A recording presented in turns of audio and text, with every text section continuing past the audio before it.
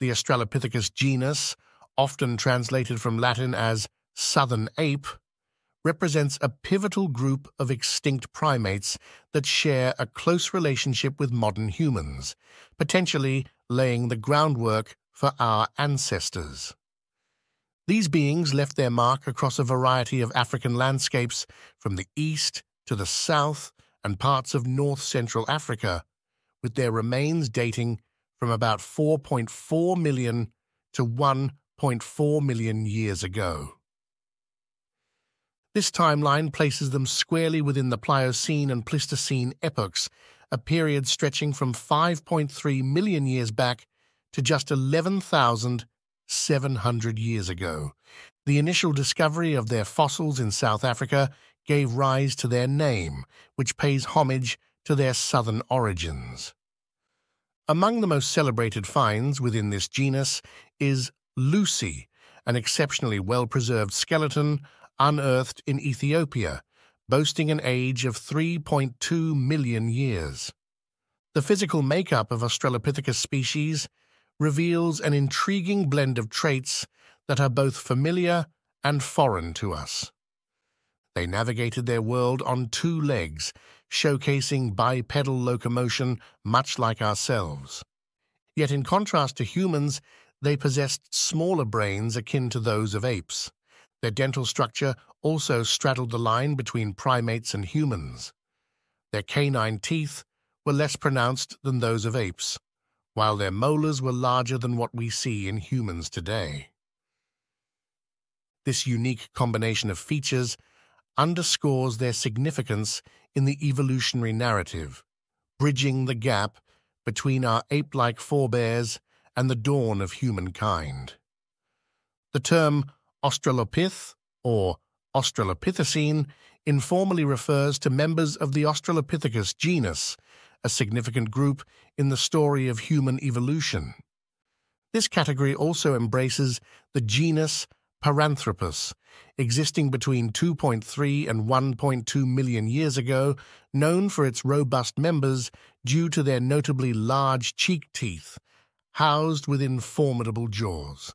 Beyond these, the human family tree branches out to include non-Australopithecine hominins such as Sahelanthropus tchadensis, living around 7 to 6 million years ago, Orrorin, tugenensis, from 6 million years ago, Ardipithecus kadabba, between 5.8 and 5.2 million years ago, Ardipithecus ramidus from 5.8 to 4.4 million years ago, and Kenyanthropus platyops around 3.5 million years ago. These species represent the precursors to the Australopithecus and are considered early humans. Australopithecus afarensis stands out as the most documented species within the Australopithecus genus, with over 400 fossil specimens that cover nearly all parts of the hominin skeleton. These fossils, which date from around 3.8 to 2.9 million years ago, primarily hail from Hadar in Ethiopia's Afar Triangle, although discoveries have also been made in Chad, Kenya, and Tanzania. A significant portion of our knowledge about A. afarensis comes from Hadar, highlighted by the discovery of Lucy, a 40% complete skeleton of an adult female, and the first family, a group burial of at least 13 individuals. The associated animal fossils suggest A. afarensis lived in woodlands interspersed with grasslands. The physical structure of A. afarensis is a blend of ape-like and human-like characteristics, a pattern seen in later hominins. This species had a notably protruding face, and its snout shared similarities with that of apes. The dental setup also mirrored ape-like features, including the shape of the dental arch, which was rectangular rather than the parabolic shape seen in modern humans. The brain size of A. afarensis with cranial capacities ranging from 380 to 530 cubic centimeters, was about one-third that of modern humans, underscoring their primitive traits. Moreover, various features of their jaw and skull reinforce their ape-like lineage and distinguish afarensis from other Australopithecus species, showcasing a crucial stage in the evolution of early hominins. The emergence of the Homo genus, which modern humans belong to, can be traced back to as early as 2.8 million years ago. The transition from Australopithecus to Homo is marked by shared traits, sparking debates over the identification of the earliest Homo species. Fossils older than 6 million years are typically classified as belonging to ancient apes, setting a demarcation line in our understanding of human ancestry. The complex web of evolutionary history highlights the gradual emergence of human-like characteristics over millions of years, showcasing the diversity and adaptability of our predecessors. Tracing the origins of the human lineage, known as hominini, back through time reveals a gradual shift towards more ape-like features in our ancestors. This evolutionary path suggests that the further back we go, the more our predecessors resemble a hypothetical common ancestor shared with apes, displaying a blend of human and ape characteristics. Sahelanthropus tchadensis, often cited as one of the earliest potential members of this group, showcases human-like qualities such as a smaller canine tooth and a less protruding face. Yet, in many aspects, including its brain size, it mirrors ape-like traits. The debate on whether Sahelanthropus was capable of walking upright remains unresolved due to the limited fossils available, which include only a skull, parts of jaws, and some teeth.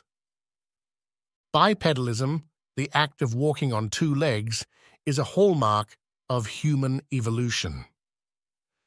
Evidence suggests this trait was already present in Orrorin tugenensis, dating back six million years and discovered in Kenya's Tugen Hills. Described in 2001 as the earliest known hominin, Orrorin's anatomy is mostly primitive, except for its thigh bones, which indicate bipedal locomotion similar to that of modern humans. While its dental structure, including thick molar enamel and distinctively ape-like canines and premolars, aligns with earlier forms of life, the human-like aspects of its femurs provide compelling evidence of its place within the human lineage. Key features supporting its ability to walk upright include the shape and structure of the femoral neck and a specific groove on the femur, suggesting the use of muscles associated with bipedal movement. This blend of primitive and advanced traits in Orrorin tugenensis highlights the complex, nuanced process of human evolution, illustrating how our ancestors gradually adopted characteristics that define our species today. Ardipithecus, another genus posited as containing some of the earliest hominins, lived between 5.8 and 4.4 million years ago.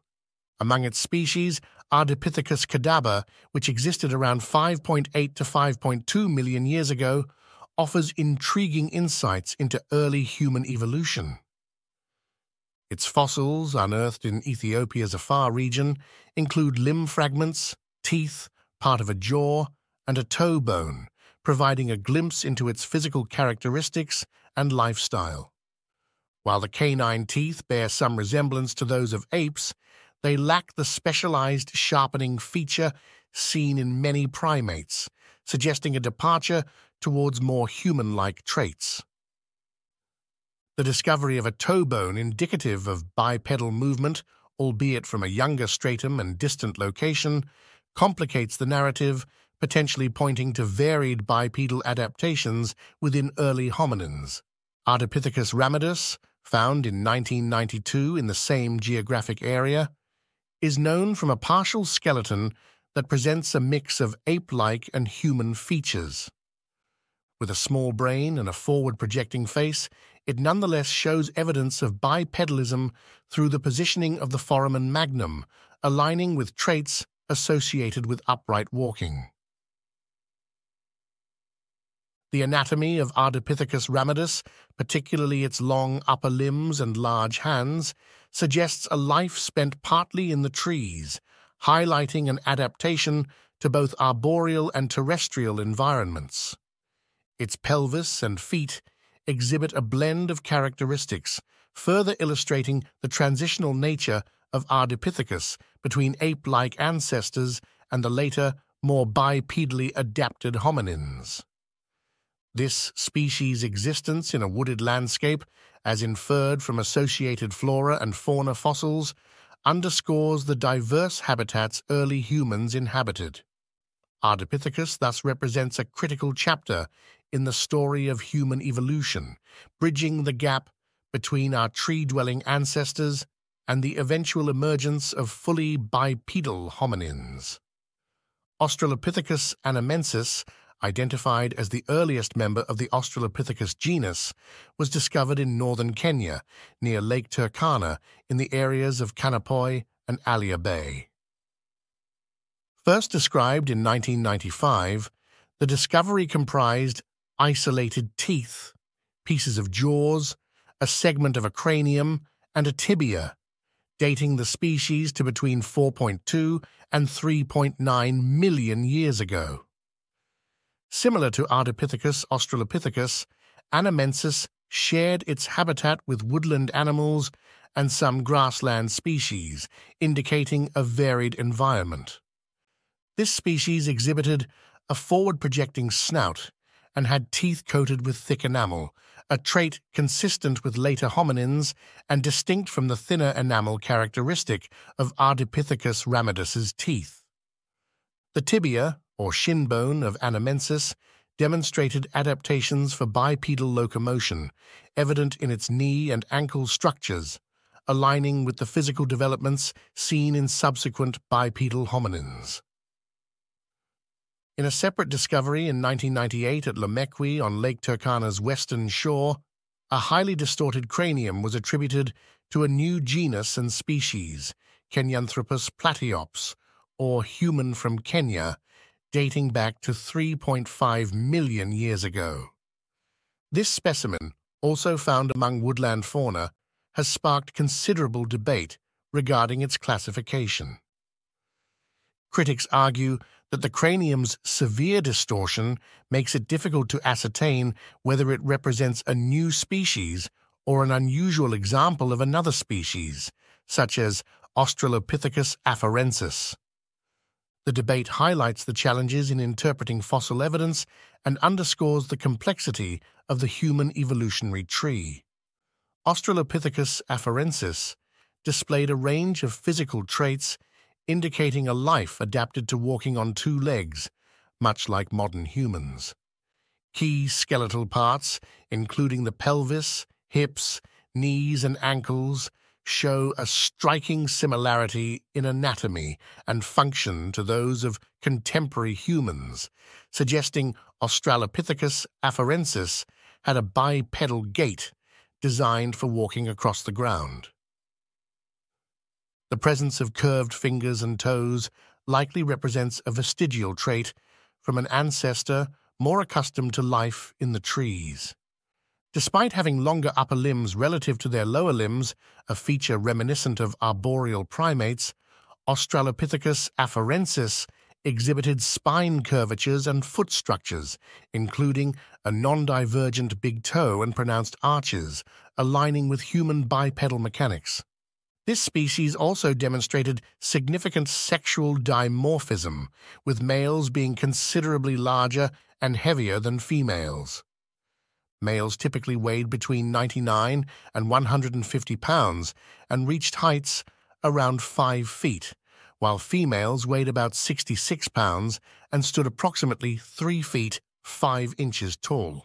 Such pronounced differences between genders are common among early hominin species, showcasing a pattern of physical diversity within these ancient populations.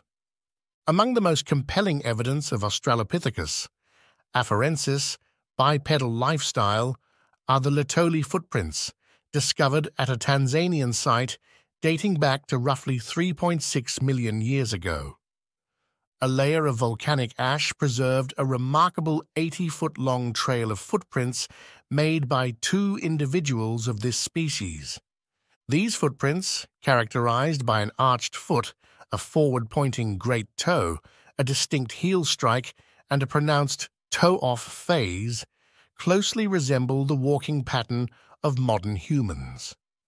This discovery not only highlights the antiquity of bipedalism in our lineage, but also provides a direct glimpse into the locomotive behavior of Australopithecus afarensis, underscoring its pivotal role in the evolutionary journey toward human bipedality.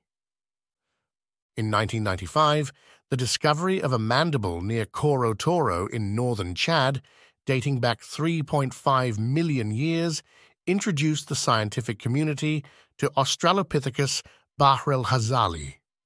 This mandible bore a striking resemblance to that of Australopithecus afarensis, leading to the identification of a new species.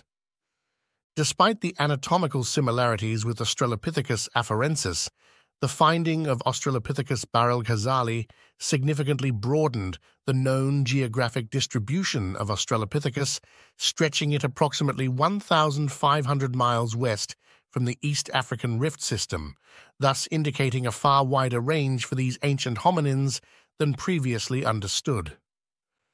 Another pivotal discovery occurred in 1997 at Bouri in the Afar region of Ethiopia with the unearthing of a cranium attributed to Australopithecus garhi, a species dating back 2.5 million years. Named Garhi, meaning surprise in the Afar language, this species exhibited a mix of familiar and novel traits. While sharing the prognathic facial structure of Australopithecus afarensis, Garhi's cheek teeth were notably larger than those found in any specimens of Australopithecus afarensis. Additionally, the presence of a sagittal crest along the brain case's midline hinted at a diet requiring significant chewing power, a characteristic associated with the later robust Australopiths. These features suggest that Australopithecus garhi might represent a transitional form, evolving from Australopithecus afarensis and possibly leading towards the robust branches of the Australopithecus family tree.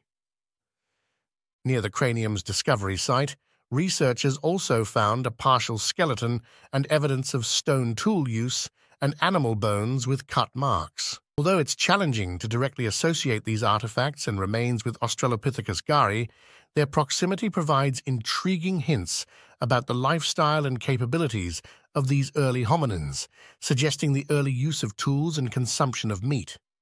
These findings collectively underscore the diversity and complexity of early human evolution, revealing a mosaic of evolutionary adaptations and behaviors. Please like and subscribe for more such videos. Thanks for watching.